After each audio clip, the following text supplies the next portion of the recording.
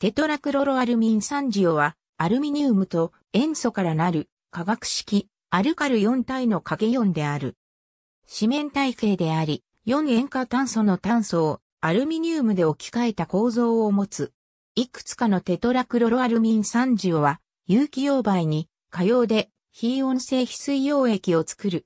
これは、電池用の電解質の成分として適したものである。例えば、テトラクロロアルミン酸リチウムは、リチウム電池に用いられている。テトラクロロアルミン酸イオンは、塩化アルミニウムを触媒として用いる。フリーデルクラフツ反応の中間体として生成される。フリーデルクラフツアルキル化反応の場合、その反応は以下のように3つの段階に分解できる。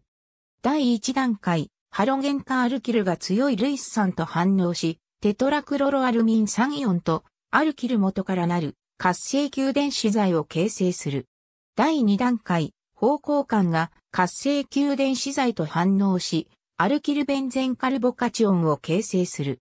第3段階、アルキルベンゼンカルボカチオンがテトラクロロアルミン酸イオンと反応し、方向感とルイス酸を再生し、塩化水素を形成する。同様の機構は、フリーデルクラフツアシル化反応でも起こる。ありがとうございます。